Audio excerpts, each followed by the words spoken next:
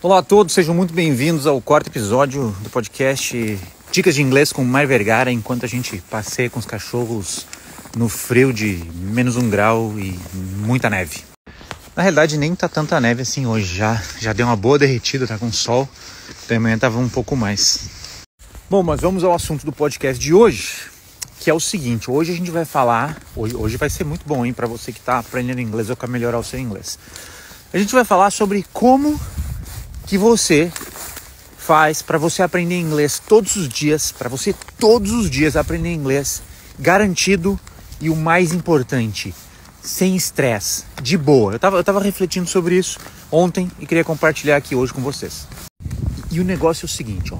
Quando você estuda inglês, quando você senta aí na sua casa para estudar, fazer seu curso, ver suas aulas, independente de como você estuda, eu sei que isso que eu vou falar parece um pouco sem lógica, mas é o seguinte: você não pode ficar pensando nos seus objetivos de longo prazo. Você não pode ficar pensando, né? Tipo, ah, não, eu vou estudar seis meses, vou estudar um ano e aí eu vou aprender. Ou então assim, ah, o meu plano é o seguinte: eu vou fazer esse curso desse jeito e em tanto tempo, no final desse curso, no final de tantos meses, eu, eu estarei em tal nível.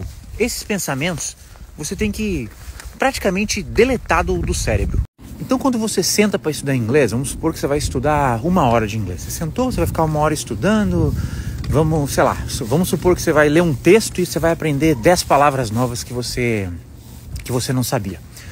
Quando você senta para fazer isso, você não tem que pensar, não, isso aqui é porque eu estou fazendo um curso e eu tenho o meu objetivo e eu vou viajar, sei lá, para Inglaterra daqui a um ano e meio, então eu preciso ficar fluente, ou eu tracei essa meta da fluência em tanto tempo. Não. Você sentou uma hora para estudar, você tem um objetivo ali naquela uma hora, né? Por exemplo, ah, meu objetivo aqui é sentar aqui hoje, passar uma hora lendo e aprender pelo menos 10 palavras que eu não sabia. É, é, só isso que você tem que fazer. Você tem que sentar, é, é quase uma coisa meio quase uma meditação, quase uma, né, é um momento de estudo ali. Você senta, estuda, atinge o objetivo daquela sessão de estudos e acabou, mais nada.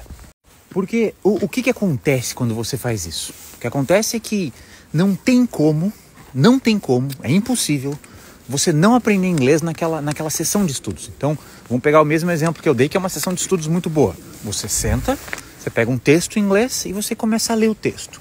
Deu de cara com uma palavra que você não sabe? Procura no dicionário, aprende, anota, bota no Anki se você usa o Anki. E aí você continua fazendo isso até você chegar em 10 palavras, né? Aí você aprende, aí não só você passou um tempo lendo em inglês, como você aprendeu, pesquisou, anotou 10 palavras que você não sabia. Isso é uma sessão de estudos muito eficiente. Quando você faz isso, não tem como não dar certo. Né? A chance disso dar certo é 100%. Vai dar certo. Você vai sentar, você vai ler em inglês, você vai aprender coisas que você não sabia, você vai terminar a sua sessão de estudos sabendo mais inglês do que você sabia antes. Isso em meia hora, 40 minutos, uma hora, dá certo.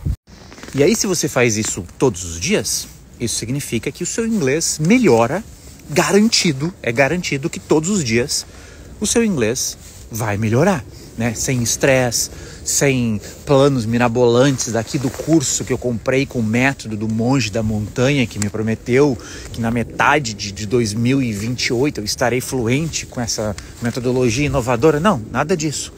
Simplesmente todo dia você senta, você estuda, você aprende e depois que você acabou de estudar você você não pensa mais em nada, você, né? É, é, é um, o inglês vira, é um hábito, é uma coisa que você vai lá e você faz. E quando você faz, sempre dá certo. Já provou pensar nisso, né? Porque vocês ficam se frustrando muito com o inglês. Eu sei, eu sei que você, você que está vendo isso aqui, ou muitos de vocês são frustrados com o inglês. Não está no nível que eu quero, não consegui aprender, já fiz 500 cursos, não deu certo. E por que, que não deu certo? Por que, que você não chegou no nível, meus cachorros? Por que, que, por que, que você não chegou no nível que você queria chegar ainda? Porque você está com a abordagem errada. Porque essa abordagem é de, ah, não, aqui ó, com esse método, desse jeito, nesse curso, em tanto tempo eu vou estar tá em tal nível. Essa abordagem, ela só garante uma coisa: a frustração. Frustração. Porque em inglês é uma coisa difícil, é uma coisa que leva tempo, é uma coisa que é bem devagarinho. Você aprende bem. Tem inglês é infinito. Eu, eu, eu sou professor de inglês, eu sei, eu falo inglês fluente há 20 anos. E toda hora que eu saio na rua falo com alguém, eu aprendo uma coisa nova. Toda hora que eu, que eu leio um livro, tem palavra que eu não sei, tem palavra que eu não sei significar, tem palavra que eu não sei pronunciar. Toda hora eu vou falar um negócio, eu, pai, isso aqui eu não sei falar. há, 20 anos, há 20 anos que eu sou fluente, não é há 20 anos que eu comecei a aprender. É há 20 anos que eu já aprendi e eu continuo aprendendo cada vez mais. Então, quando você traz esse objetivo de, ah, não, em, em dois anos e três meses eu vou ficar fluente, né? Você tá, na realidade, você está traçando o objetivo da frustração. Agora, por outro lado, se o seu objetivo é simplesmente eu vou sentar aqui nessa cadeira, vou pegar meu curso de inglês, meu material de inglês, meu sei lá o que de inglês, e eu vou aprender. Vou passar uma hora aprendendo, aprendendo palavras novas, pronúncias novas, estruturas novas. Nessa uma hora eu vou aprender. Não tem como dar errado, não tem como não aprender. Né? E você faz isso todos os dias. E aí o que, que acontece? Seu inglês de pouquinho em pouquinho vai melhorando, vai melhorando, vai melhorando. E aí é só questão de tempo. Até... E aí, aí depende de você. Quanto mais você fizer isso, quanto mais você fizer essas sessões de aprendizado 100% garantidas, melhor o seu inglês fica. E esse tem que ser o objetivo, né? Melhorar o seu inglês. Jamais fluência.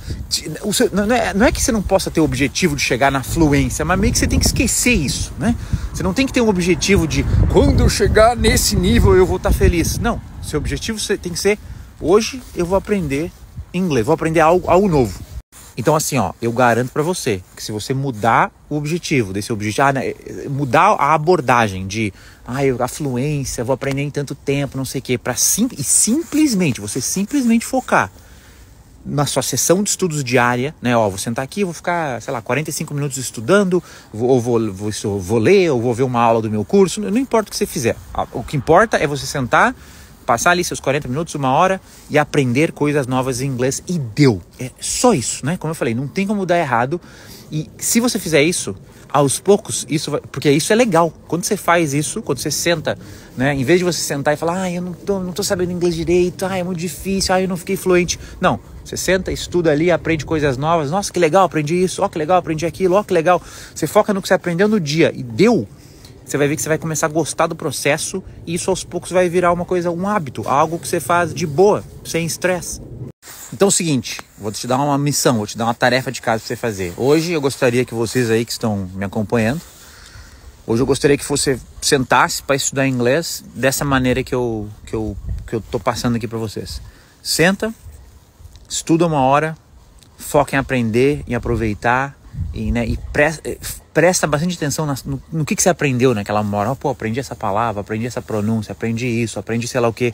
Só isso. Uma hora de felicidade estudando inglês. E deu, acabou essa. Não, você não vai pensar em fluência, você não vai pensar em objetivo de longo prazo. Não, fa, faz esse exercício mental. Senta estuda uma hora sem preocupação com o, o, todo, né? Uma hora de, não, vou aprender isso aqui, ó. Vou, esse texto aqui, vou, vou estudar ele hoje. Essa aula, vou ver ela hoje aqui e vou aprender o máximo que der e deu. Eu garanto pra você que no final dessa uma hora, ou pode ser meia hora, se uma hora for demais, você vai, você vai, você vai ficar contente, você vai gostar. Caraca, foi legal estudar inglês hoje, não tinha aquela pressão. Aí depois que você fizer isso, vem aqui e me manda uma mensagem no direct falando se você fez, né? Falando, ó, fiz isso e, e eu e, e me fala como é que foi, me conta. Mas só depois que você fizer. Faz, depois vem aqui, me manda uma mensagem e me diz se, se você acha que estudar sem pensando no objetivo maior, o, o sonho da minha vida, simplesmente o foco ali, não, uma hora aqui de estudo, vou aprender o máximo nessa uma hora e depois eu vou, sei lá, vou fazer outra coisa, não vou, não vou nem, né? Sem estresse, uma hora sem estresse, só aprendendo o que der para aprender, o que for legal e aí, e aí me conta no DM, beleza? Esse foi o episódio de hoje. Espero que você tenha gostado e continue me seguindo aí.